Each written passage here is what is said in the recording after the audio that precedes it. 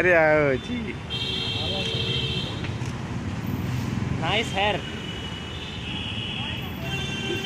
nice hair